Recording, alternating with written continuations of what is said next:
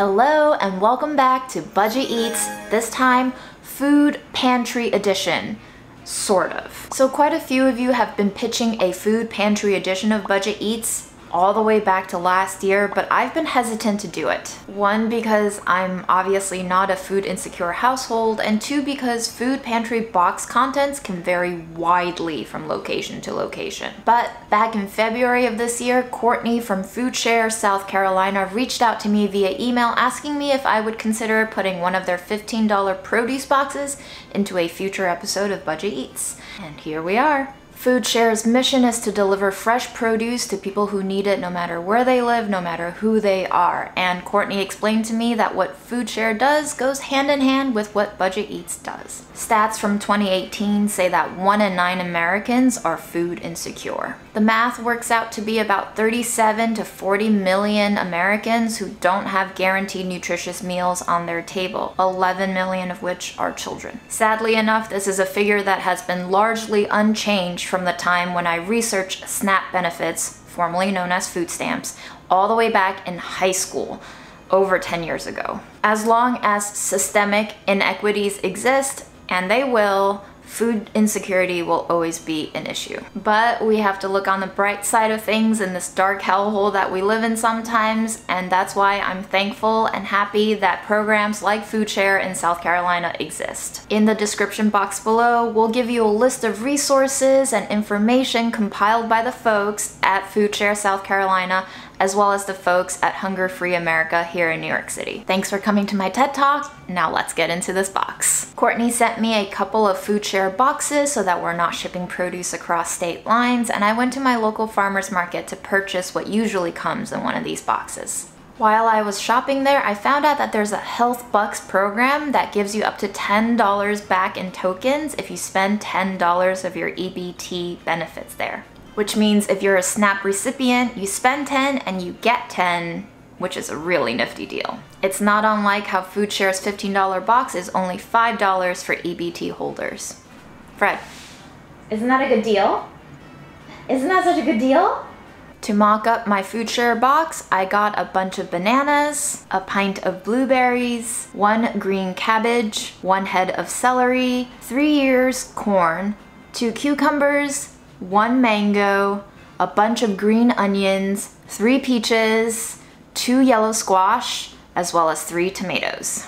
Now I spent $22.98 total on all of these things, but if you were to buy it from South Carolina's food share, you would get them for 15 total. You'd also get these really nifty recipe cards that come with the box as well. Courtney explained that these boxes are not meant to be used on their own, but rather to supplement other food sources that families may get, like for example, boxes from a food pantry or farmers to families boxes. And because I wasn't about to take up a box from an actual food pantry, I went to my very own food pantry, aka the Delish Test Kitchen. After over a year of working at home, I was so excited to see all the goodies in there frozen in time. I polled y'all on our community page to get some insight on what you usually get from a food pantry box, and man oh man, did y'all show up for that with answers. Thank you so much for participating and letting me know what your food pantry boxes look like. And so for my very own food mock-up box, I got one loaf of frozen challah that's been in there for way too long, one jar of peanut butter that has been expired, as well as a jar of strawberry jam, probably oh also expired, a can of evaporated milk, a can of beef gravy, a can of tomato soup, a can of black olives. Are they all expired? Maybe we can just stop checking right now. If your cans aren't bulging or rusty, chances are you'll be fine. If you open it up and there's no mysterious wisp of gas escaping, you're probably oh also fine. But again, I'm no food scientist, so eat at your own risk. Continuing along our canned collection, we have a can of chipotle peppers, a can of pineapple chunks, we have a pound of pasta from two open boxes slash bags. We have a box of cornflakes, oh also opened, oh also probably expired.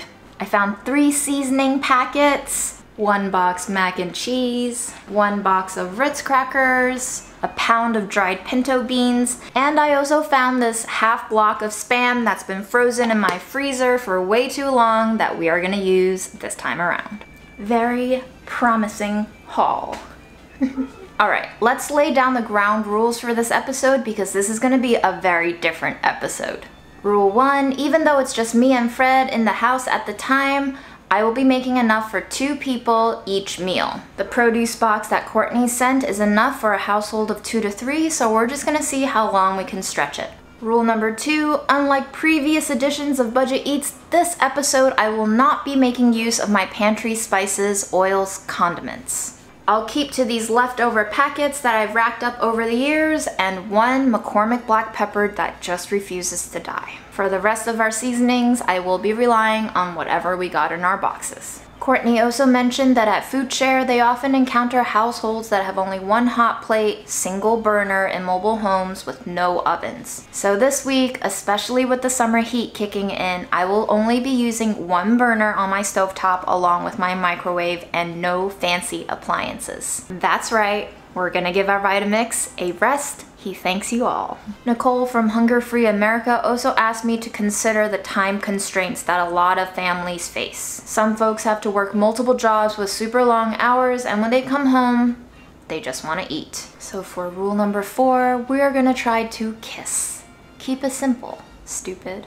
That fantastic acronym comes to you by way of my global history teacher in the 10th grade. All right, y'all, you ready for this? I'm not really ready, but I will lie to you and say that I am. First things first, let's prep some items. Whenever I get bananas, I like to tear open the bag and rinse off all the bananas to eliminate fruit flies from happening. Doesn't work 100% of the time, but it works 9 out of 10 times. And a word to you folks who compost, please remove these stickers off of your produce before you compost. They are not meant to go into that pile. Second thing I'd like to prep is our beans. We need to soak them if we are to eat them. We're just gonna rinse them really fast and then let them soak overnight. Third prep I'd like to do is to rinse off and clean all of our celery and green onions. Because these are ginormous, I'm gonna cut them into sections and I'm gonna make sure every single inch is being rinsed clean because farmer's market produce, it can be quite gritty. You forget sometimes where your food comes from. If you ever see grit trapped in between the celery and you can't really wash it out, cut it in half and then rinse completely. You really don't want any crunchy grittiness in your bite. After everyone's been washed and shaken dry, I like to wrap them in a paper towel and slide them into a resealable bag. Kept this way, it should be good until the end of the week. As for the celery leaves, we're gonna keep them separate, wash them completely, dry them completely, and I'm thinking we can use these as herbs. Celery leaves can be a little bit bitter, almost like licoricey and anise-like, but they're very flavorful, very herbaceous, and we can definitely use them like how we would use parsley. For the green onions, we're also going to chop them into sections and rinse them really well. If you see grit inside that little tube of green scallions, you gotta rinse it out, otherwise it will get very crunchy and not in a good way. Afterwards, also gonna store them in a resealable container sandwiched between some paper towels. By the way, did I mention you can definitely repot your scallion root ends for more scallions? I like to trim about an inch above that root end and then just pot it in some wet, rich soil, cover it back up, and you shall have scallions. The next thing I wanna prep is to get this peanut oil out of that peanut jar. Because we won't be using any other additional sources of oil, this is gonna be a very precious item for me to have. As for this peanut butter that expired a year ago, does it smell a little funny? Yeah, it smells a little off. Am I still gonna use it? Who do you think you're talking to here? We shall have to use all three tablespoons of it sparingly. And finally, the last thing that I wanna prep today is corn. I'm going to strip out the outermost leaves. We're gonna rinse it clean. We're gonna trim off the browning silk and then we're going to take the kernels off the cob. I will be reserving the inner leaves for something. Don't know what yet, but I'm sure it'll come to me. The internet tells me that there is a strand of corn silk for every kernel of corn found on your cob. I don't know if that's true, but I do know that most people throw this out without ever using it. Tastes like grass. Sweet, juicy, crunchy refreshing grass. We're definitely gonna save that baby. To get my kernels of corn off the cob, I take a really sharp knife, I put a cutting board fitted over a baking sheet to catch all of the kernels, and then I just slice, top, down. Keep your grip firm on the cob and rotate as you go. Raw corn can be a little bit starchier than cooked corn, but it's just that sweet and it can be extra juicy. Corn prep complete. Now, as far as our meal goes, this tomato is already starting to go a little bad, so I think I want to go ahead and use this up. But what do we want to make? Because we do have bread this time around, the first thought that came to mind was a BLT, but obviously we don't have bacon or lettuce, although we do have cabbage. And we also have this corn silk, which reminds me of microgreens. They're tiny, they're sprouty, they're crisp. We also have a lot of green onions. So what I think I'm gonna do is chop some of these up along with our corn silk and use those as lettuces. As for our bacon, how about our good old peanut butter? Is there mayo in a BLT? BLT recipe delish. Wow, okay, our BLT sandwich has a lot going on, guys. There's maple syrup, brown sugar, cayenne, paprika, chili powder, mayonnaise, all of which we could do if I could use my pantry, but I can't. But I do have some of these packets, one of which is mayo. I'm gonna have to use these real sparingly. We're gonna slice our bread up, we'll toast it in a cast iron skillet over medium-ish heat until it's nicely golden brown on both sides, and then we'll slather it. Thin layer of mayo, thin layer of peanut butter, thin slices of tomato, topped with our chopped corn silk and green onions. Tomato, corn silk, green onions, peanut butter, mayo on challah bread. Hmm. I'm intrigued. Oh my. The sweetness from the challah combines with the sweet tartness of the tomato, the nice fragrance of that corn silk. The juiciness of the tomato cuts right through that sticky, thick peanut butter. This works. The green onions not only add a really nice crunch, but also fresh spiciness. I think because we use so little mayo, I can't really taste it, but it folds really nicely into that butteriness of the challah to begin with. Mm-hmm. Man, oh man, that corn silk though. It's actually really delicious. Maybe it's just because there's peanut butter in here, but I love it. Do we think Fred's gonna like it? We're not actually feeding him, guys. Simon Meow. Can you tell me? Do you like it? Do you want it? Are you interested? That's a maybe. You can't have it. I'm sorry. It's really tough to be you, huh, Fred? Yeah, I know, bud. I'm gonna eat it for you, though, okay? That's good enough, right? Considering the fact that this sandwich is pretty much vegetarian and Fred was even interested in it, means that it's actually quite good, guys, because he's not interested in the vegetarian stuff. Simon Meow has spoken. I'm gonna give the sandwich an 8.3. It is peanut buttery, it is comforting, it is nicely flavored, textured, and just really easy to throw together. Next up, Easy Mac. This box has a best by date of October 2019, but seeing how everything is dehydrated in here, I think we're fine. Now obviously, I'm not going to use this on its own. This, this is gonna come in handy but not right now. I never grew up with Easy Mac and the first time I had it was in college and boy oh boy were these pasta noodles really disappointing. I'm not sure who engineered this shape, but they are skinny, like little bucatini chopped up into pieces, and they are so easily overcooked. The water gushes into these skinny little tunnels, cooks them from the inside out, and then cooks from the outside in from the surrounding water, and it is so easily mushed. Although I am a fan of mush food, pasta just isn't one of those things that should be mush. I'm gonna use these noodles in a pasta salad. Because there isn't a lot of pasta, we're gonna go with a small pot and we're gonna go with just enough water to cover by half an inch. We're going to cook, stirring occasionally until it's al dente, and then we're gonna drain and reserve all the pasta water. The good starchiness here should not be wasted. And yes, I am starting this pasta in cold water. It still cooks, guys. Just about a minute after the water comes up to a boil, the noodles are past al dente. They cook so fast. Look at this box of lies. Start your Easy Mac in cold water. Do not cook for more than two minutes. Drain and shake immediately. You're welcome. I know I changed your life so much. To really add some heft to this pasta salad, we're gonna go heavy on the veggies. Crunchy celery, half a juicy tomato. I'm keeping the tomatoes here in big chunks so that they have more of a meaty bite to them. Nice briny olives, whose juice we're gonna pour out into a jar and save for later. Zesty green onions, sweet creamy like corn, and some delightfully salty spam. And we're gonna toss it in a bowl with our salad in a sauce. What's the sauce?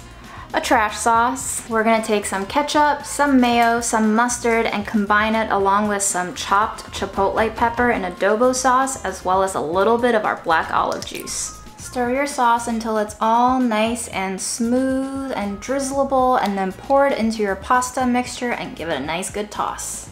This honestly already looks and smells pretty great, but I think you can always make something better by making it a little bit of a crunchy garnish. Enter Ritz crackers that expired in July of last year and some ranch powder seasoning. What I'm gonna do is crush up some of our Ritz, toss it with some of our ranch seasoning powder, and make a little ranchy, crackery topping for our pasta salad.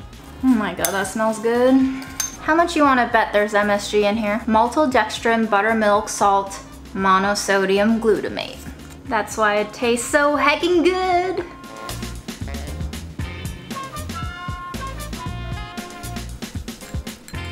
Smells mayo-y, mustardy, ketchup-y, kind of like a special sauce on a hamburger.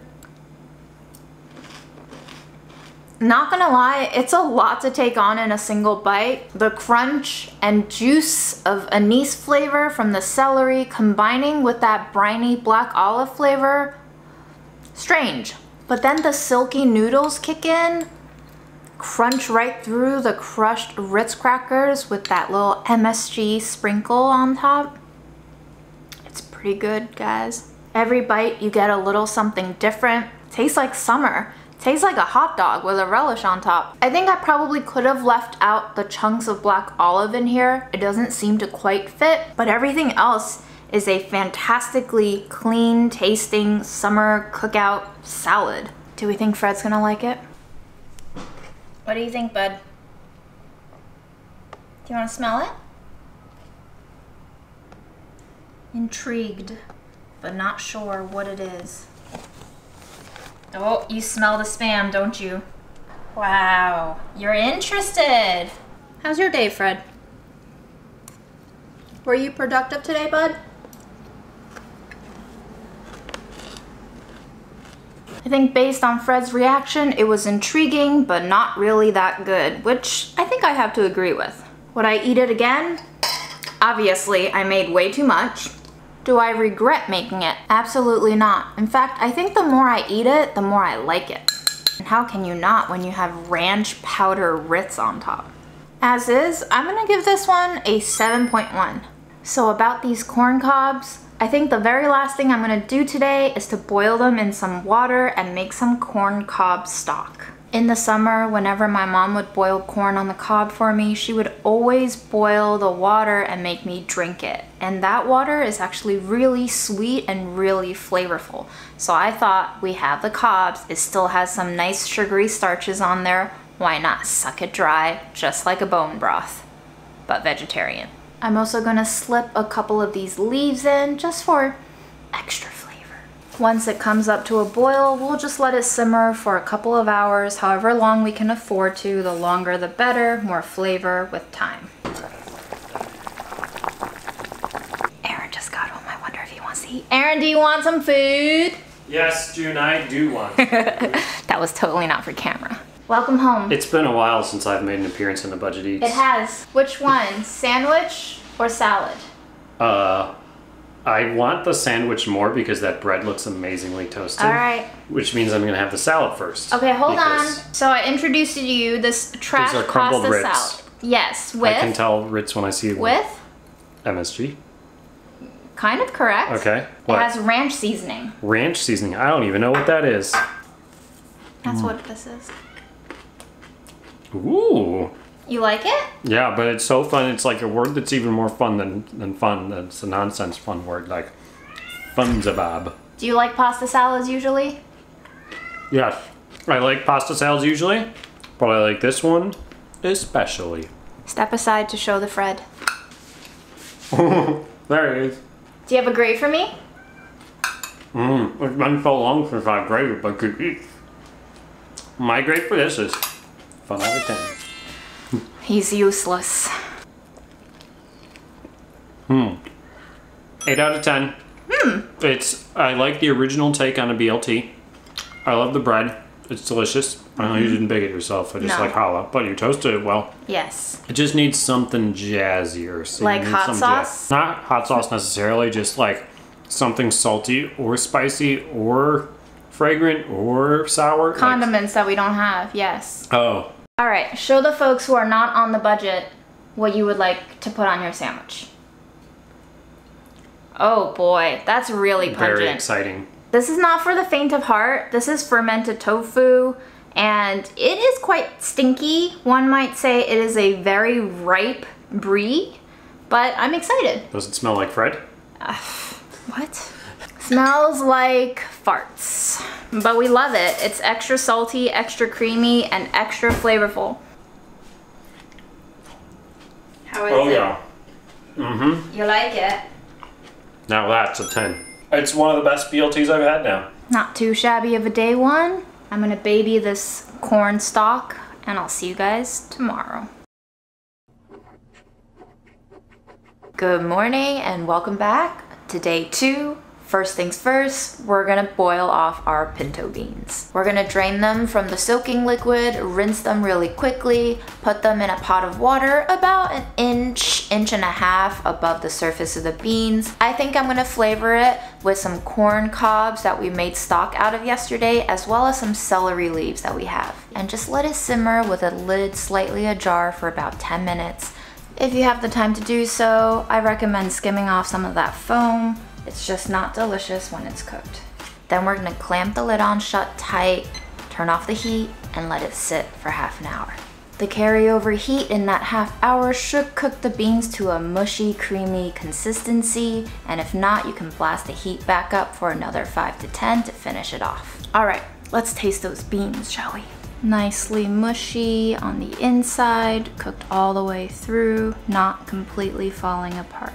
They're not yet salted, so the flavor isn't too punchy at all, pretty basic. We're gonna fish out the corn cobs and the leaves. They've given all they've got, and we're just gonna let the beans stay in the pot and cool down in there. They'll start to cook a little bit more, get a little bit creamier, which is all good news for us. As the beans are cooking, I think we gotta do something with these bananas. They're just not getting any younger.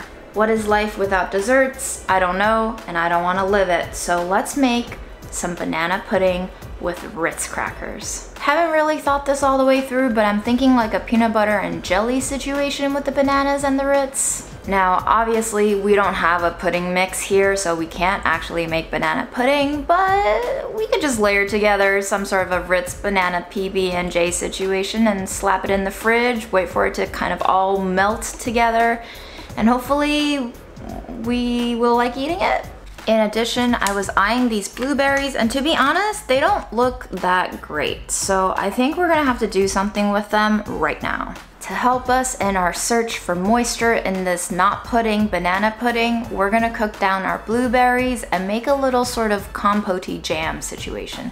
We're going to rinse them, shake them dry, put them in a small pot and put that pot over a medium low heat, stir it every now and then and wait for them to burst with juices. What I can do to give it a little bit more moisture is to make a peanut butter sauce with our leftover pasta water. I think we're gonna need a little corn stock to make this looser. There we go. Nice, smooth, and drizzleable. After about 10 minutes of bursting simmering, I think our sauce is pretty good. The fruit is still intact, half, and the syrup is getting nice and thick and shiny. We'll let this cool and then we'll layer it on. And maybe dilute our strawberry jam with a little bit of evaporated milk so that we have a little bit more liquid going on in there.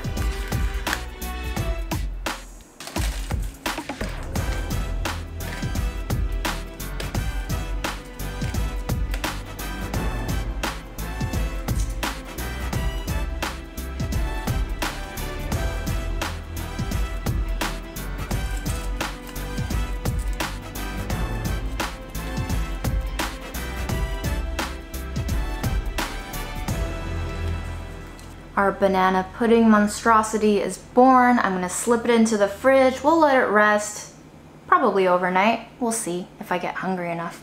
Call me crazy, but next up, we're gonna make some cornflake tamales. It's gonna be a mess, but come on, you live for it. Don't even try to deny it. First, we're gonna slightly char some of our leftover corn leaves. Besides making an absolute mess on your stove top, this will give us a little extra flavor to play with. Then we're gonna take some corn flakes, crush them, Ritz, crush them, put them in a pot, and go in with some seasonings. I'm thinking some of our mysterious taco seasoning packet alongside a little bit of our adobo sauce.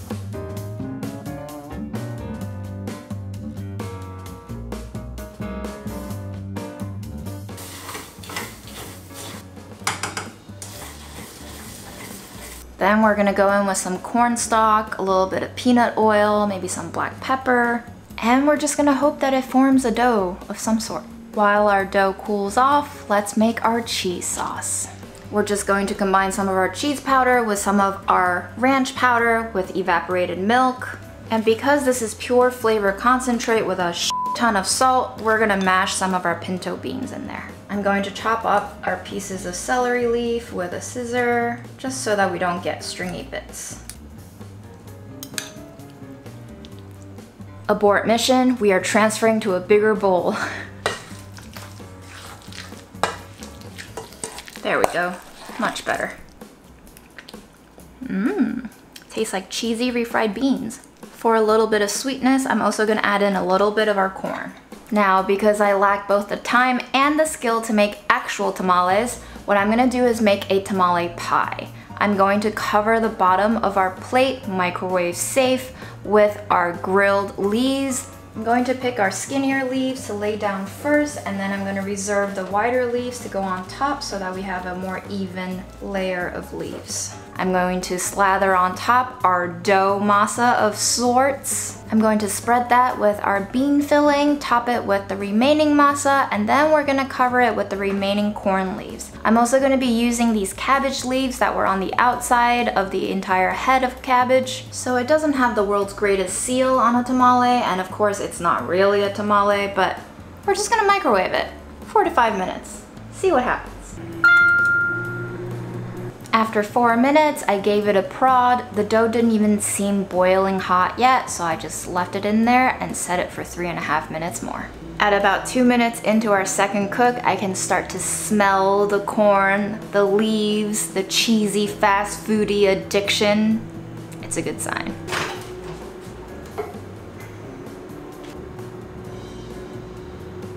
The cabbage leaves are starting to get toasty. The dough is very hot but I think we can go a little bit longer. Let's go for a full 10 minutes. Before we do our tamale review, I think we gotta feed Fredo. Ready for mush, Fred?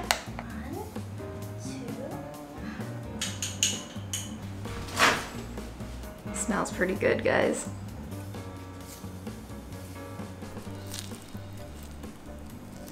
The smells like fried chicken almost. It is quite strange. It almost looks like a fried chicken exterior too. Not sure what's going on, but you know what? I'm hungry and I'm ready to taste. I think I need to get a little more of the bean filling, but that first bite is really good. I shouldn't be surprised that it smells so good in that fast food way given that we have Ritz, cornflakes, cheese powder, ranch powder in here, but man, it smells good. And you can definitely taste the corniness coming through. It almost tastes like a semi-maize masa. I love this so much. I am delighted by this. Would a little more condiment on this hurt it? Absolutely not. But do we have it? Not really. And do I miss it? Not really. I think it's quite wonderful on its own. Is it worth the work? Yeah, it's not a very streamlined recipe, but for the results, I would do this again. It also made a lot of food. I would say this is enough to feed four, probably, but maybe just two if you're super hungry. Look at those layers. Look at that beauty. That lumpy beauty. I think it's time to go ask if Simon Meow likes it. Sammy, what you think? you don't like it? Why, Fred? It's so delicious. You know what? Fred can go suck it because I give this one a 9. The balance of sweet, savory, salty, spicy combined with that MSG and our powders just makes this a complete meal for me. Alright, I think for dish number 5, we're gonna attempt a yellow squash tinga, a play off of chicken tinga, often served as tacos. Obviously, we don't have tortillas today, so we will be serving them atop Ritz crackers. I'm gonna start by making a pinto bean mash.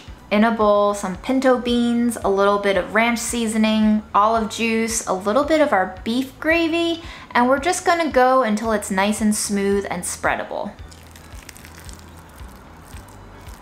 And then into a large pot over medium heat, we're gonna go in with some chiles in adobo chopped, tomato soup, a little bit of taco seasoning. We're gonna slice up one yellow zucchini or yellow squash, I guess. What's the difference? Beats me. Half of our tomato, some corn, a little bit of chopped green onions, some celery leaves, we're gonna dilute it down with corn stock so that we can let that squash cook all the way through until tender. Once the squash releases all of its moisture, we're gonna blast the heat up to high and keep cooking until that liquid is thickened. And then we're gonna season with a little bit of black pepper.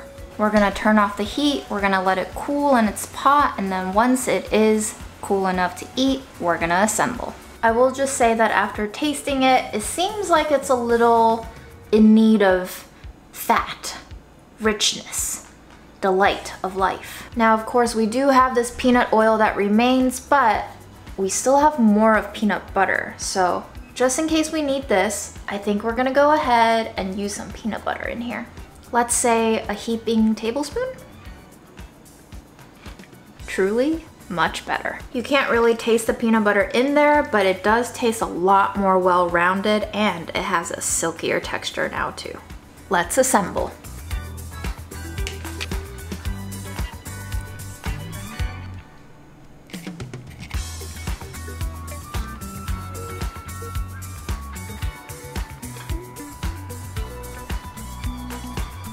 I think these smell enticing, but I can't be sure. Look at the scallion placement on this one. That's some architecture right there. That was a pretty good bite. I'm kind of convinced that you can't do anything bad with Ritz crackers. The acidity that's in the tomato sauce is very, very mild. There's a lot of high fructose corn syrup in there, and it comes off as a very friendly, friendly taste. I'm a super big fan of this, I think. It's not mind-blowing, but it turned out way better than I thought it would. We're really hitting that sweet, savory combo today. Let's go see what Fred thinks.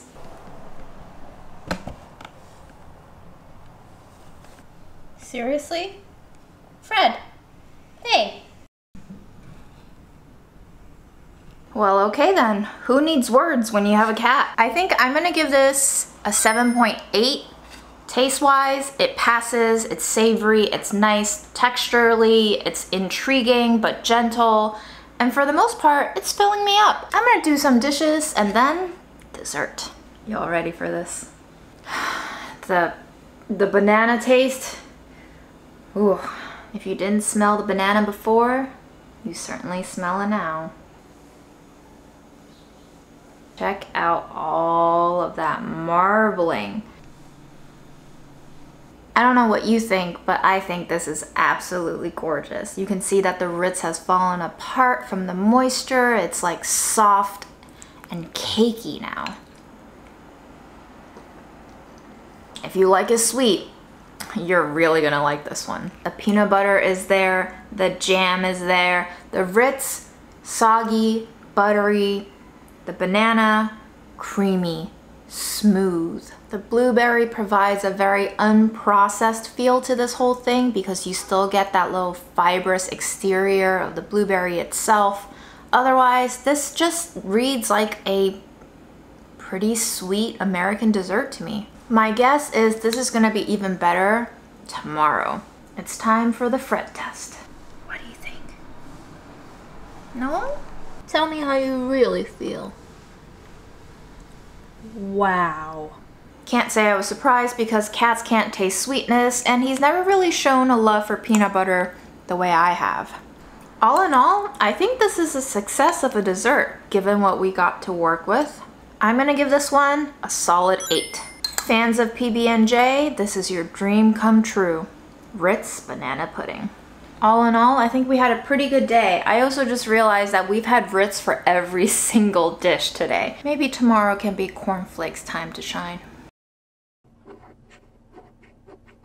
Good morning and welcome to another beautiful day. I realized last night that there's been one ingredient I've been kind of putting off using and that's the cabbage. Yes, of course, we used the outer leaves to cover our tamale pie yesterday, but for the most part, cabbage can be a little uninspiring. However, I think we can make something super weird and fantastic with this. I think we can make some pinto stuffed cabbage rolls with this. For meal six, we're gonna microwave our washed cabbage until the leaves peel off whole. Some people prefer to put it into a pot of boiling water and peel the leaves off. That works. I just, uh, don't feel like boiling a whole pot of water in the middle of summer. For the cabbage, I like to trim off the bottom of that stem root end. This way the leaves peel off more readily. And then I like to give it a very thorough rinse. I really recommend heating up your cabbage so that the leaves are more pliable. Otherwise, once you start peeling them, they'll start breaking, which won't make for a very good roll. I like to put it on a plate to catch any moisture that might emerge and then I'm just gonna slide it in there and go at 30 second increments. After each round, check to see if it's ready to be peeled and if it's still too tight, put it back in for more time. You are in essence par cooking this cabbage right now, so you're just waiting for that outer layer to steam pliably. In the beginning stages, it may take up to two to three minutes for that first layer to peel off, but once that entire head of cabbage is warmed all the way through, it'll become much easier. You waiting for cabbage? Yeah. Cabbage boy. Because the bottom of your plate will be much hotter in the microwave, I recommend that you flip that head of cabbage every now and then to ensure that the entire head is getting warmed up. As the cabbage cooks, you'll start to see it turn a vibrant green. As you get further into the head, just make sure you keep slicing that bottom off for an easy detach. When peeling, try to go around the sides of the cabbage and just slowly work your way in. If it starts ripping, move to a different spot and just try to use that solid stem to help you weasel your way under that leaf and peel it off. Once you have enough leaves, I like to stack them, put them back in the microwave, and just microwave them until they're nice and soft to your desired consistency for that best wrap pliability. Meanwhile, we can make our bean mash. I'm thinking a little taco seasoning with our pinto beans, as well as some peanut butter. Your beans obviously don't have to be mashed smooth, a little texture is fine. Just be sure to mash them with the spices and the peanut butter before anything else goes in, otherwise you'll have a weird, weird texture. Some minced black olives, some corn, some diced celery, and some diced spam. Plus some thinly sliced scallions for that added flavor. I mean, not to say that this texture isn't weird, it, it's gonna be weird anyway, guys. Your cabbage leaves, when they come out, should be fairly translucent and looks a little bit like iceberg. To make sure that your cabbage rolls are as tender as they can be, trim off this root stem end that can be a little bit tougher. You can either munch on them as a healthy snack or incorporate them back into your mix. Mmm. I think these would be great pickled if I had any vinegar. To make your cabbage rolls, you're gonna tuck and fold like you would a burrito. Take your leaf of cabbage, start with the rounded uncut end, put on a heaping, heaping tablespoon of filling, spread it out into a log shape, and then start rolling. As you roll that first revolution, tuck in the sides and then keep going until that log is completed. Place it into your microwave safe dish in a circle, however you want, seam side down. We're going to hit it with some of our beef gravy straight on top, and then we're gonna add some black pepper as well as green onions. We're gonna slide this baby into the microwave and go until I can smell everything cooking. At about 10 minutes in, you can really start to smell that gravy cooking. I think we're on the right path. I'm gonna go for two more minutes for a total of 12.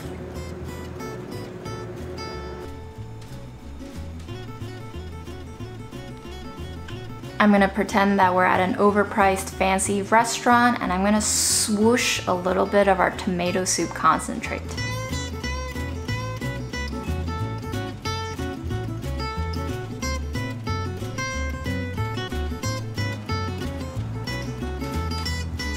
This smells pretty good, guys, and uh, it looks really beautiful inside, actually. If you close your eyes and pretend that this is actually a fried wonton wrapper, this could uh, pass as an egg roll of sorts. Maybe.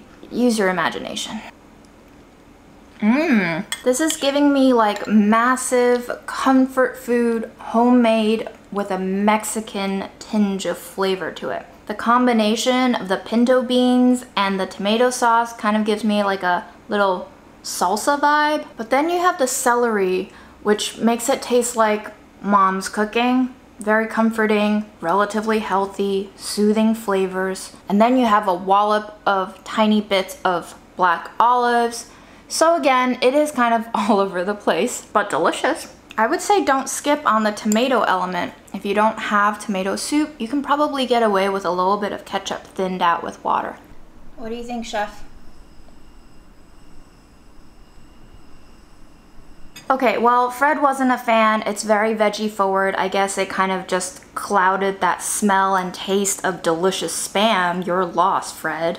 I'm also kind of surprised that he didn't seem attracted by the beef gravy at all, which, mm, who knows what cats like. I think the seasoning is perfect. I think the cabbage is perfectly tender as well. It's not soggy at all. There's no liquid pooling on the bottom of our baking dish. It also makes a lot of food. We have 12 rolls here. So I'm gonna give this dish an 8.4. I think it's comforting, I think it's balanced, and I think it's relatively easy to do, and you can literally stuff cabbage rolls with whatever you want. We had savory, so now we must have sweet. Next up, corny French toast. Our bread is starting to go stale, so I think it's time we gotta use it up. Now, French toast is often soaked in a mixture of milk, cream, eggs, lots of liquid and flavoring.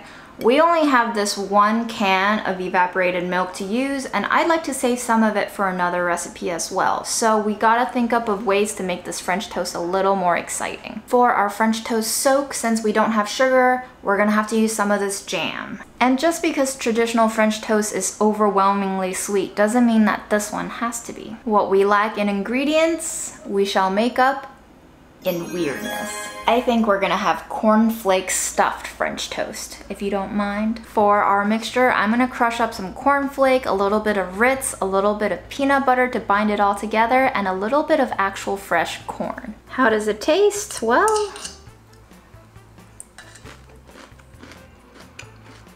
kinda good. You know what? Just to freak you guys out a little bit more, some black pepper. Crazy enough for you yet?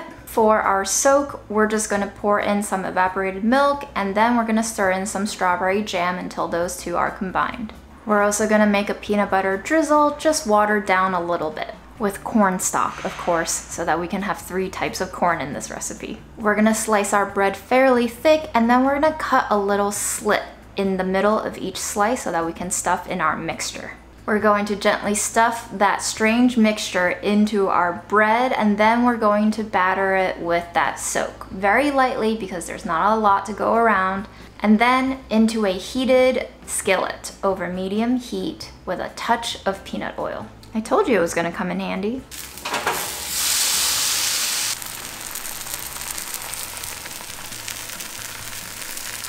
One thing I will note here is that please use enough oil when you are frying something wet like French toast because if you don't, you'll end up with a very burned bottom. I used a little more oil in my second round and glad to say it came out way better.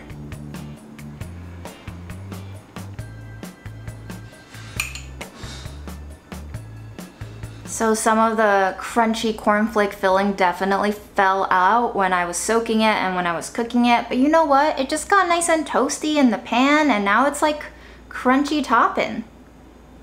The gifts I give myself. Could not have foreseen this genius.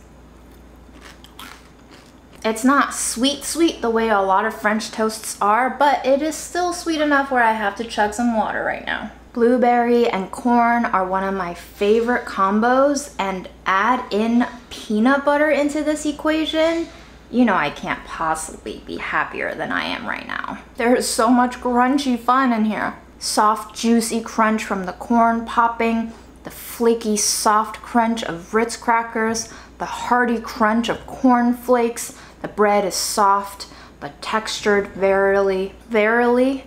Yes. Am I speaking Shakespearean? Yes. Does this French toast deserve it? All that and more, babe. Is it a mess to eat and to make? Indeed. Is it worth it? I mean, guys, I just, I love it. I love me a good mess. Now, I do believe berries are not safe for cats, so obviously, as with all foods, I'm not going to be feeding Fred this, but I do want to see what reaction he will give. Fred, I need your opinion. What do you think? What? Speak. Interest. You have interest? You like it? You think it's worthy of an experiment? Honestly, I think Fred gave me a not for me, bro, but nice try. I like the way you think. So, with that in mind, I will give this 8.3. That feels right. All right, for meal number eight, we have this leftover French toast soak. We gotta do something with this. Wouldn't wanna waste all that good, good evaporated milk and corny flavors now, would we? I'm also thinking it's time to put this loaf of challah to rest. Bread pudding, anyone? Now naturally, I know you're thinking, June, those bananas look super ripe. I bet you're gonna make some banana bread pudding. Wrong, I say, because we already made banana pudding and it was made with Ritz and we're not gonna do that again. They're also throwing metal rods outside my building right now, so I feel particularly crazy, which is why I'm gonna be doing a pineapple spam bread pudding. It's gonna be sweet, it's gonna be salty, it's gonna be spicy, it's gonna be plushy, and it's gonna be crunchy. And there will be lots of green onions in there. Zach, can we enter like a like a evil scientist laughter here? Thank you. Maybe like a like a bolt of lightning too? You're the best. Given that we're not baking anything except in the microwave, I don't really see a point in searing off anything. We don't really have any oil to add flavor, so I'm just gonna chop up everything, layer it into our pie dish, and we're gonna microwave it. Easy breezy, you asked for it. What I am going to do is to cube our bread into one inch cubes and then we're gonna toss it in our leftover soak first. This will ensure that all of the dried bits of bread will at least have some moisture coating them before we microwave it. I'm gonna dice up our Spam, toss it in there along with some corn, and we're gonna drain our pineapple and reserve the juice for another use.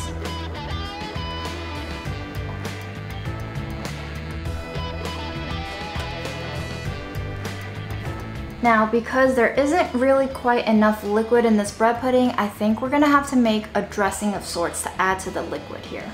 I'm gonna be combining these two with a little bit more of evaporated milk and pouring it over top. And for a little bit of sweet tartness, we're gonna add in some of that pineapple juice back.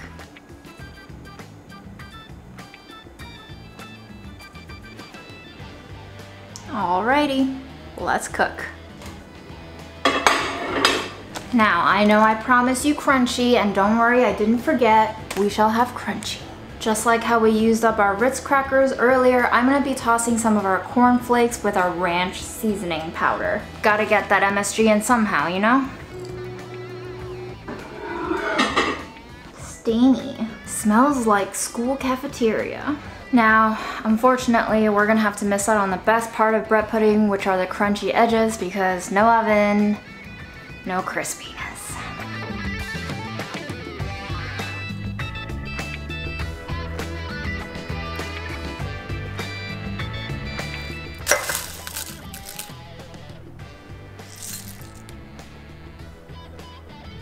I mean, let's be honest, shall we? It's not the most appetizing thing I've ever made. It's, uh, soggy, wet, everything looks a little bit like flesh. It's just, a... hmm. Hmm. You know what they say though, looks can be deceiving. That first bite of challah that I got, amazing. It's so nice and rich with the sauce that's slightly spicy and slightly tomatoey. Mmm. Whew. Juicy pineapple, soggy bread, crunchy ranch cornflakes. What a flavor combo, guys. Do I love it? Kinda. The parts of the bread that wasn't completely sogged through by the soak got a little rubbery in the microwave because it gets dehydrated but not toasty, so it's just kind of like You've you've microwaved bread before, you know what it tastes like. If you're not a fan of Hawaiian pizza flavor combos, you will hate this. However, if you love it, I think you might love this. The saltiness of the spam plus the sweetness of the pineapple plus that lush challah soaked bread and corn and scallions. I love it. But what do I know? Let's go ask the pro here. I know it doesn't look like much, but what do you think? You okay, buddy? Worth another smell? Oh, you went for a bite. wow. That good, huh? You smelled the spam, didn't you? You did. Well, I'm happy to report that Fred loves it. Therefore, I think this deserves quite a nice grade. I'm gonna give this one an 8.5. I think if we could have somehow baked this in the oven, it would easily bring it to a 9. For our final dish today, I think we're gonna make a little cabbage slaw. Need a little more veggie after the last two dishes, so I'm thinking sliced cabbage, cubed mango, and a little pineapple sauce. Also think we could add some more corn in there, you know, for that little sweet, sweet pop. I'm going to trim that mango around the seed and use about half of it. I'm going to score that half of mango into tiny little cubes and then use a spoon to scoop it out. I'm going to have our remaining cabbage shredded really thin.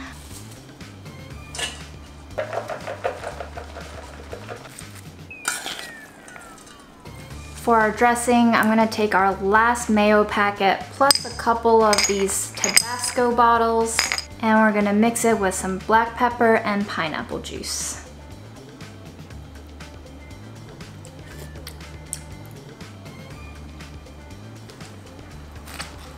I put a little bit of green onions on top for both texture and flavor and color.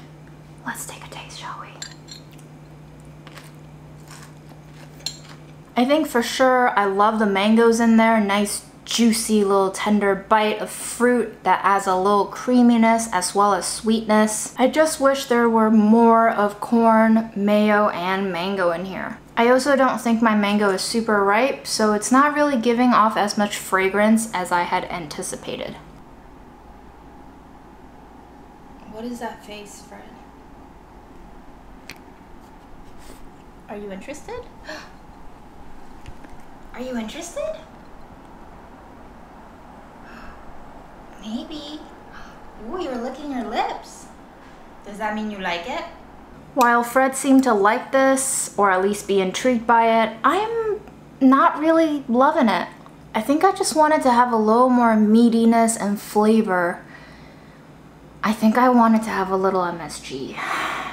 Shall we? Y'all ready for this? Ranch powder is exactly what this needed. That is so good. I was all ready to give this bad boy like a 5.5 or a 6, but now, now it's a 7.6. The ranch powder makes the mayo taste mayo-ier, it makes the Tabasco smoother, and it makes the cabbage and mango saltier. All of that to say, a little bit of seasoning takes you a long way. I'll see you tomorrow. Good morning and welcome to day four. Today we shall eat some pasta and we shall cook some of those bananas because they are getting ripe. It's getting to that stage where if you poke them a little, you can start to feel that sugar inside melting, which means they're perfect for banana bread. Now, how do we make banana bread without flour? Well, we gotta try with cornflakes, I guess. First things first, we're gonna take this bag of cornflakes and we're gonna crush it real fine, as fine as we can get it just with our hands. So we have about four cups in here and we're gonna mash half that amount of mashed bananas.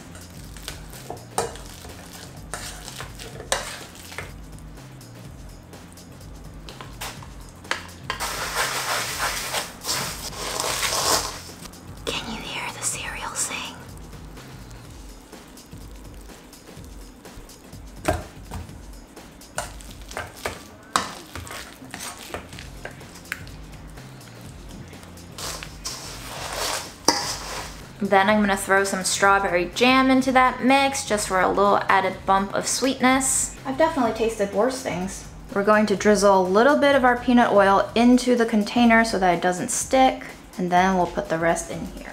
Then we'll transfer it into our loaf pan and just let it sit while we prep our pasta. For our first pasta today, it's gonna be a cabbage cream pasta. We're gonna boil some of our half pound of open bagged pasta in a combination of corn stock, bean liquid, olive juice, and a tiny touch of evaporated milk. Wow, surprisingly, not expired.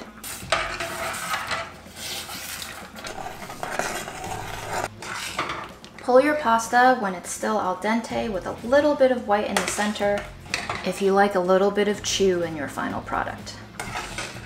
If you like it mushy, just keep cooking it. The choice is yours.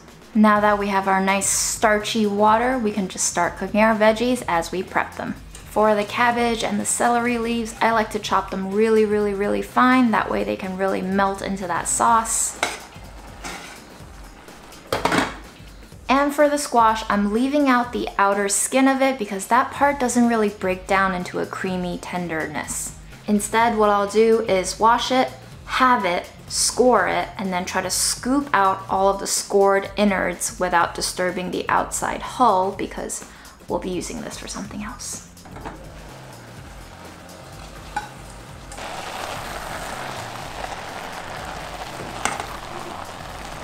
We're also going to add in some white parts of scallions.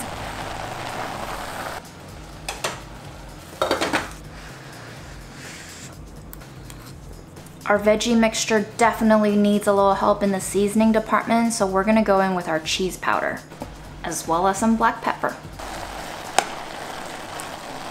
We also still have our yellow mustard packets, which has vinegar, mustard seeds, salt, sugar, turmeric, paprika, cloves, cinnamon, allspice, and coriander. And I feel like this is gonna be a great addition.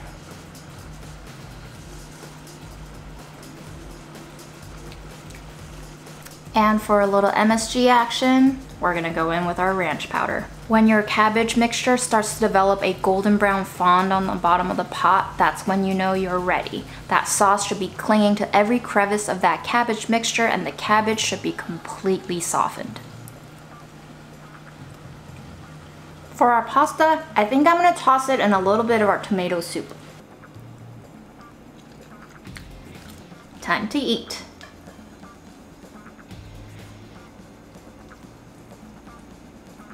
We're gonna sprinkle it with a little bit of corn and scallions. And of course, if you want a bit more texture, some ranch Ritz. Smells like tomato soup. All right. Oh man, what I would do for some Parmesan on top of this right now. but you gotta make do with what you do have. Obviously, parm is amazing for a lot of reasons, but one of the reasons is it's very high in MSG. So because we don't have it, we just gotta go heavy with our ranch Ritz. I'm really glad we decided to put the corn in there because the cabbage is a little bit acidic, especially with that sweet tomato soup pasta.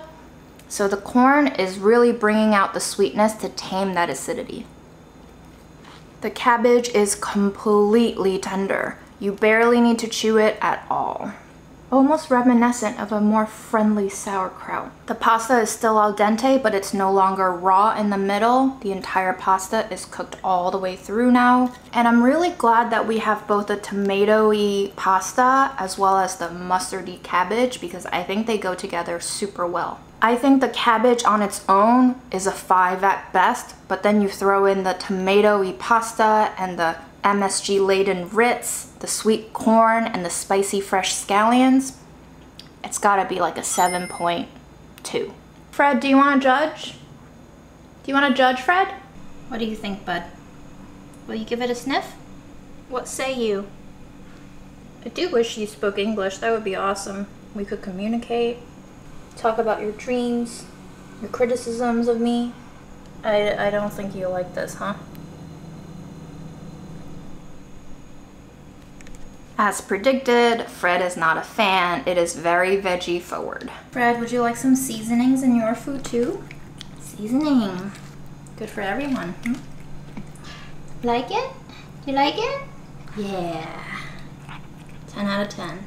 Hot tip, you can crush up some treats and treat it as a seasoning powder for your pet's food. Fred seems to like it. Dishes are done and I gotta be honest with you, this diet is making me very, very sleepy. A lot of carbs, a lot of simple carbs. Here is our mushy banana cornflake strawberry jam mixture. I haven't even microwaved this yet, but it's so set. I'm really curious what it tastes like right now. I guess it is kind of like uh, cornflake bread pudding. Hmm. Wow. That's pretty good. This can be a, a no-bake banana bread. I think not warming it up makes the banana flavor less intense, which makes me like it more. I think the only thing this needs is a peanut butter drizzle. The peanut butter at the bottom of our jar is really solidified and especially because we drained away the oil, it's very, very thick. As we've done previously, I'm just gonna take a little bit of peanut butter, mix it with a little bit of room temperature water until it's nice and drizzleable, and then we can dress our cake. To add a little bit of freshness to our plate, I'm gonna slice up some of our remaining mango and then serve alongside the cake.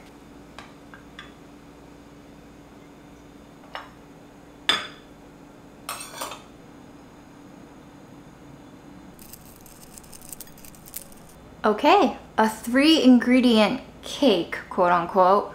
Not too shabby looking. It's holding its shape quite well on the fork.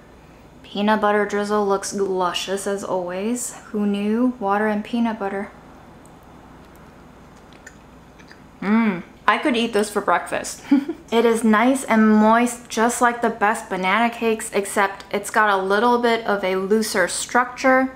The flavors are all there pretty pure. As far as processed foods go, the ingredients list on cornflakes, not too bad. Milled corn, sugar, malt flavor, 2% or less of salt, and then BHT as a preservative which translates into this cake not tasting as cafeteria processed food as the other items we've made. Serve it with a little extra peanut sauce, a little more corn flakes. Man oh man, is this enjoyable. I honestly don't even know if I needed the mango, but it's here. And it's good. The mango adds a nice fruity acidity and it also helps the cake not like cling to your throat as it travels its way down your esophagus. It gives it a nice little juicy lubricant. Fred? Fred? Oh, hi, buddy. Can you give me a tasting? Do you, do you want me to leave you alone? I guess you don't like bananas or peanut butter or corn. Okay, Thank you. Well, Fred's not a fan, but I like it. I think I'm gonna give this one an eight. I don't know if that's inflated, but based on how easy this is, I, it's mind-blowing. I bet if we could have used our Vitamix, we would have gotten really similar to a banana bread texture.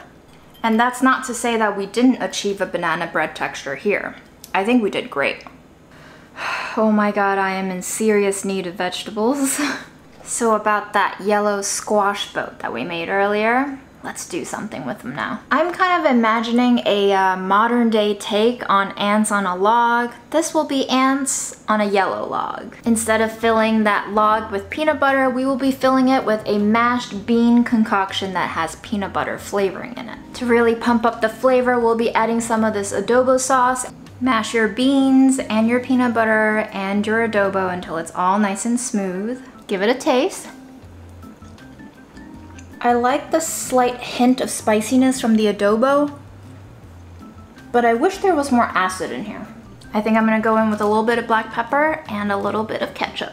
Not only are we getting some MSG from the tomatoes, we are also gonna get a little bit of vinegar. Almost reminds me of meatloaf.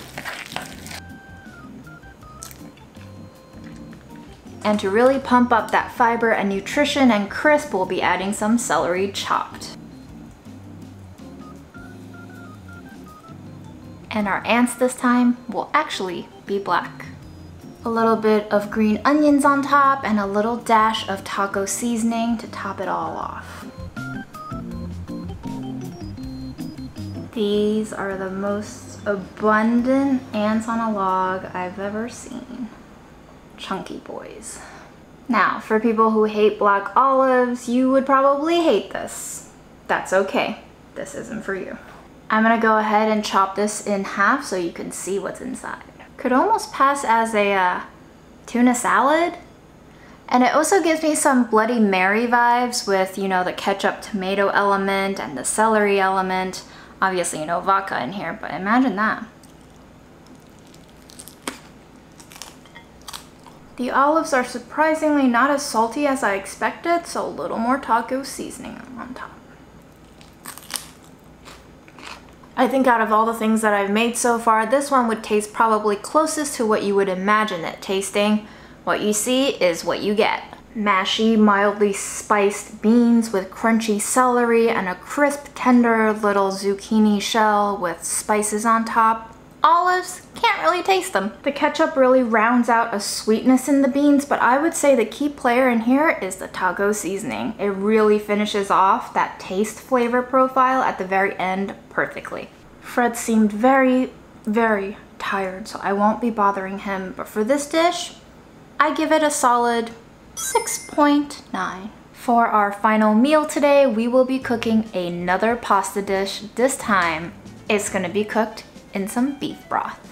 We're also gonna pop in that pasta water, some ketchup, and our tomato, as well as an ancho chili and our olive juice. We're gonna be adding enough water just to cover that pasta and we're going to boil it until it's al dente.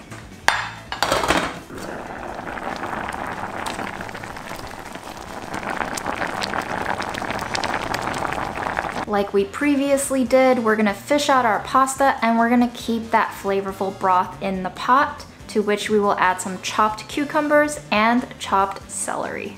I'll pop in a couple of chopped olives as well for a little bit of fattiness and flavor. For a little bit of added richness, we're gonna plop in some peanut butter as well, just to give it that nuttiness and fattiness. And we'll season it with a little bit of taco seasoning and black pepper as well. Once your sauce is thickened and clings to your veggies, you are there. I present to you trash bastardized ratatouille.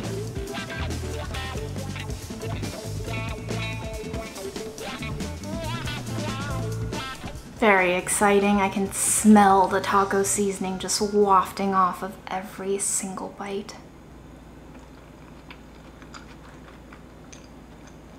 The pasta, nice tomatoey, the veggies, thickened, creamy sauce enveloping each and every crunchy bite. I don't know how to describe it quite because there's just not enough salt in here to make it addictive, but it is super comforting. The textures, the warmth, the little juicy fleshy bites of olives. I know it doesn't look like much, but I am enjoying this way more than I thought I would for such a trashy, trashy concoction. Not bad. As a kid, my mom used to stir fry cucumbers and I used to hate them. But here, covered in a peanutty taco seasoning sauce, it's actually really nice. Once cooked, cucumbers take on this super silky, tender bite. I don't quite know how to describe it except sturdier zucchini. Fred? Fred, are you alive? What do you think, Fred? Last judge of the day. Is okay or no? Why do you always yawn? Is it because you're bored? Well, Fred didn't seem too enthused, but the beef gravy wasn't very beefy, so I get it. I'm gonna go ahead and give this dish an 8.1. I think as far as comfort food goes, this is pretty good, especially considering what we had to work with. I'm gonna call it a day here for today, and I'll see you tomorrow for our final day of meals. Wish us all luck. Hello and welcome to day five, our final day and our final ingredients. Let's take a look at what we have left. On the spice front, we have some black pepper, some peppers, all of our powdered seasonings, and our very, very expired Tabasco sauces. On the fruit front, we have some pineapple chunks as well as juice. We also have that middle seedy part of the mango and our three peaches, which are now very withered. We have a little bit of peanut butter left and some strawberry jam. We have about a half cup of evaporated milk along with one cup of corn flakes and one sleeve of Ritz crackers. Finally, on the veggie front, we have green scallions, white parts of the scallions, one cucumber, and some celery. How many meals can we eke out of these last standing soldiers? I'm not sure, but let's get started anyway. There's nothing to it but to do it. Gotta be honest with you, I went back for second helpings of the pasta last night and I am pretty stuffed, so let's start with a light snack. How does a uh, spicy cucumber salsa served on top of Ritz crackers sound to you? JK, this is not a democracy, we're gonna do it anyway. Because the skin on this cucumber is quite tough, I'm not sure it'll be appetizing eaten raw, so I think what we're gonna do is to peel it off. Maybe we can dehydrate it into a chip? For our cucumbers, I put them on a microsafe plate. I put them in the microwave for about two to three minutes until they get blistery and dried out like this. You guys, look at the pretty little beads on this cucumber. Then we're going to take about a third of it and we're gonna chop it real fine. We're gonna chop our pineapples real fine to add a little more fruitiness, heft, and flavor to our salsa. I'm also going to be dicing up the rest of this mango. For the mango, I like to use a vegetable peeler and just peel off the outside rind. Then I trim around the seeds to get all the flesh I can out of it. Does anyone else think the seed of the mango is the best part to gnaw on? Especially when you get those little fibers stuck in your teeth and you get so annoyed with yourself? And we're gonna mix that all together with some strawberry jam. We're gonna chop up one of our chipotle peppers real fine. Smells fresh, smells sweet, fruity, and spicy.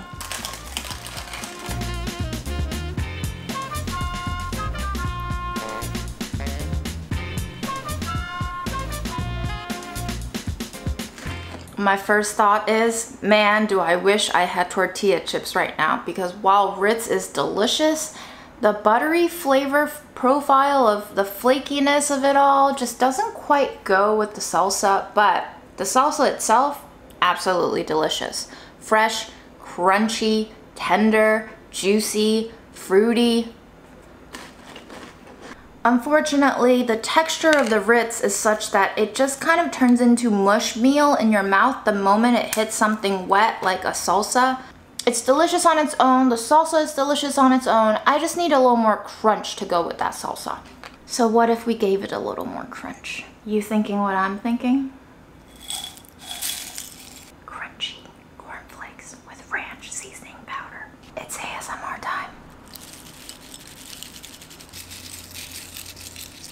Cornflakes, salsa. oh my god. I love this. Oh man, if I close my eyes and just think that these are the broken chips from the bottom of the bag, I could make believe that these are tortilla chips. That's really hitting the spot. Listen, I love Ritz as much as the next person does. Look at all those flaky layers inside, but sometimes it just doesn't work. I think Ritz pairs better with creamier consistencies, jammier consistencies, but for really watery, moist consistencies like a salsa, go with corn chips, or better yet, corn flakes. You just really gotta have that crunch in there, you know? Today, we have redefined breakfast cereal eating. My job here is done. I'm gonna go ahead and give this salsa a 7.3. Next up, it's time for our veggies to shine. I think I'm gonna go ahead and make a veggie salad with a spicy peanut sauce. We're gonna treat the veggies a little differently to bring out the flavors and to soften them a little bit. As for our microwaved cucumber skins, well, they can be crushed and they can be turned into seasoning perhaps. ASMR time.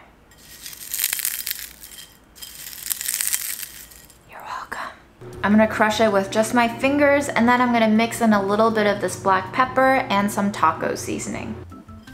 Who needs a dehydrator when you have a microwave? I think this will make for a beautiful garnish. As for the cucumbers, we're gonna slice them real thin and we're gonna dust them with a little bit of ranch seasoning which has salt in it which will draw some of the moisture and soften the cucumber slices. We'll just let the cucumbers sit and marinate in this ranch seasoning while we slice up and cook off our scallions and celery. Celery and scallions will be sliced thin and then microwaved until they just start to soften.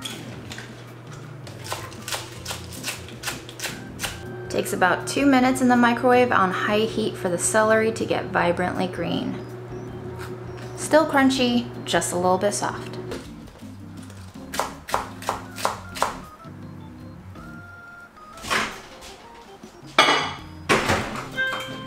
The scallions take about 90 seconds or so. You want them slightly translucent.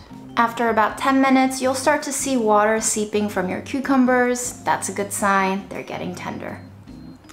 For the spicy peanut sauce, we're gonna water the peanut sauce down with a little bit of our adobo sauce as well as our Tabasco jars and literally water.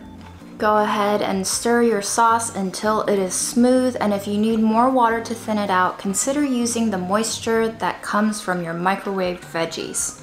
It has not only moisture, but also flavor. To assemble your salad, dump all of your veggies into a larger bowl, pour in your sauce, and give it a nice good mix. As always, give it a taste, see if you like it, and if you don't, season it some more. And if you still have any scallions left over, toss those on top too. If you want, top with your cucumber seasoning.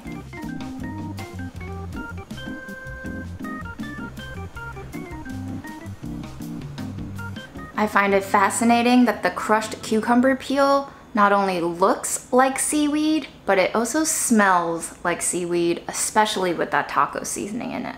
Kind of like homemade togarashi of sorts. The first taste is celery with peanut. And I really truly wish that we had stronger peanut butter flavors in here, but because we were only working with the dredges of that jar, you know, there is a nice hint of spiciness that lights up across your tongue. You don't really taste the scallions, probably because the chipotle peppers are overpowering it. The texture is crisp, but also kind of silky tender which I love. And all in all, I think it just works. The spice will catch up to you though.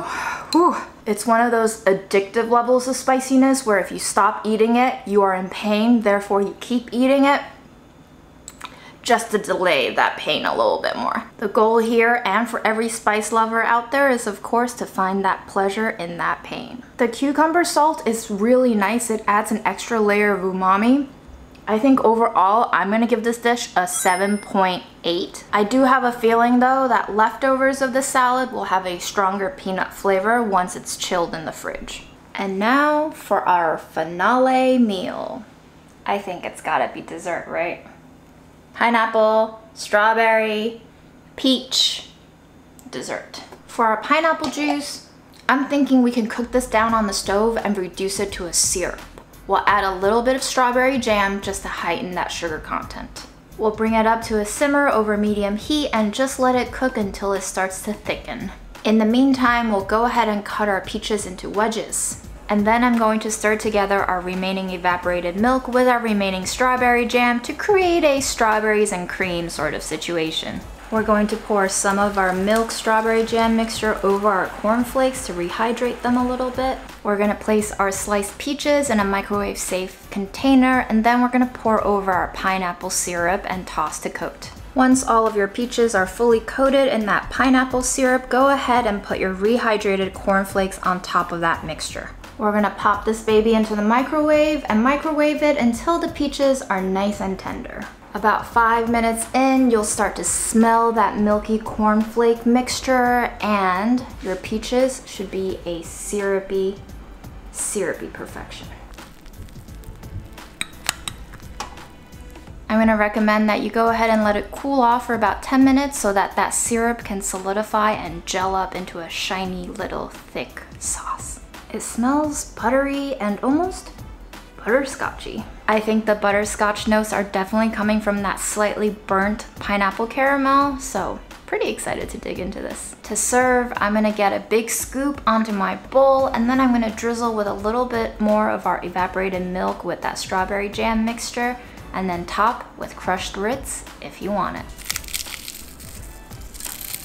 I don't know about you, but I'm pretty pumped about this. The flaky Ritz, the juicy, tender, jelly-like peaches. Oh man, the rehydrated cornflakes. What a weird thing, huh? What a weird week, guys.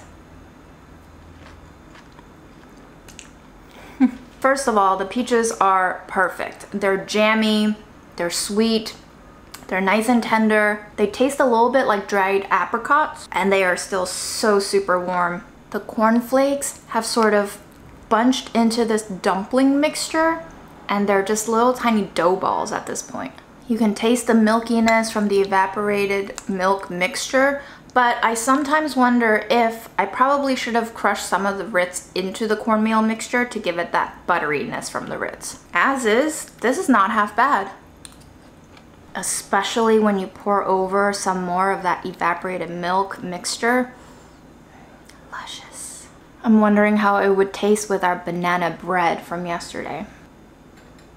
Cornflake on cornflake action, you know?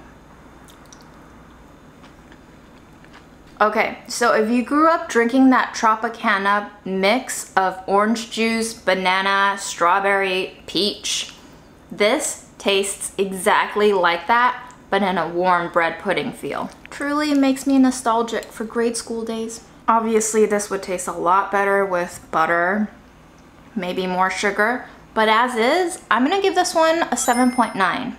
I think it's pretty decent. Did you have a fun week, Fred? Did you have a fun week? All in all, I think we had a pretty decent week. I really love the PLT that we made on day one. I was also really taken away by the cabbage rolls and the tamale pie. Loved both of those.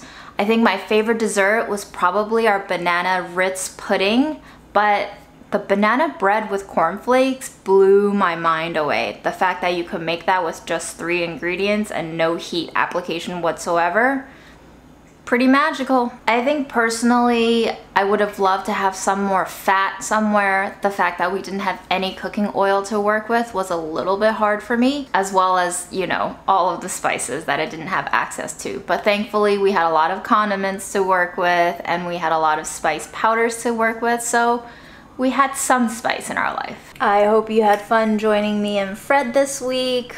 If you have any brilliant recipes with any of the ingredients that I used this week that I didn't make, please drop a comment down below and let us know what your magical recipe is. I want to give a big thank you to the folks at FoodShare South Carolina and the folks at Hunger Free America. Love the work that you guys do and I hope more people will do more work like you. If y'all have any ideas of what we can cook up on the next Budget Eats, drop a comment down below and let us know. What do you want to see next? Until next time, Fred and I tell you to take care and stay hydrated. See ya.